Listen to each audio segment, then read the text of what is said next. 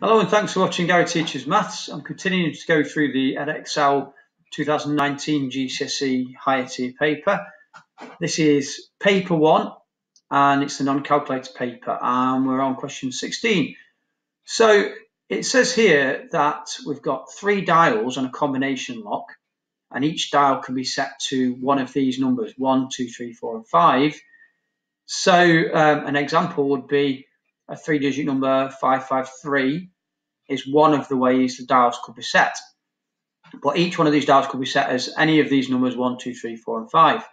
So work out the number of different three digit numbers that can be set for the combination lock. Well, we can see that the first one on, the, on there, the dial, can be set in five different ways. And the second dial can also be set in five different ways. So we can multiply them two together and the third dial also can be set in five different ways. So all we have to do is multiply 5 times 5 times 5, which gives us 125. And that is the total number of different combinations we can get from this lock, 125. Simply by multiplying the digits on each one together. So 5 times 5 times 5. The second part, we're asked how many of the possible three digit numbers could have three different digits.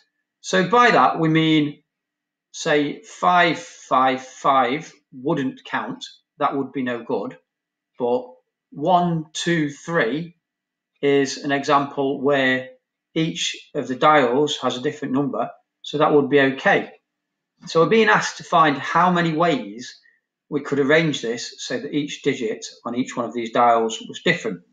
So we could do a little table just to illustrate this. We could say, well, if we've got dial 1, dial 2, and dial 3, we can see that for the first dial, because neither of the second and third dials have been set, we've actually got five options because we could have one, two, three, four, or five.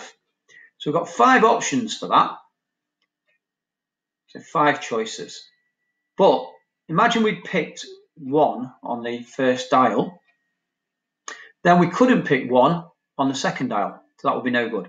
So we'd only be limited to two, three, four, or five. So we've got four choices there.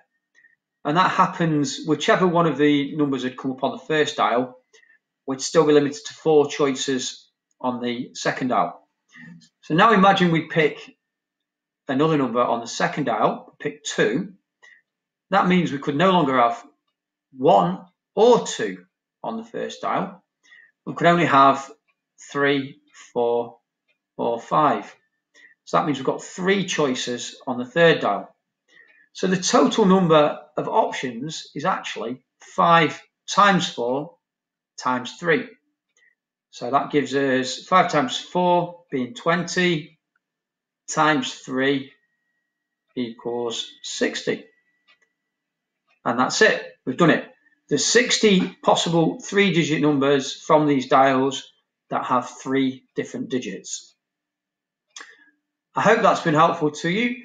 If it has, we'd love it if you could like our video and subscribe to our channel. And for more help, please look at our website, which is bestmathstutors.co.uk. Thanks for watching.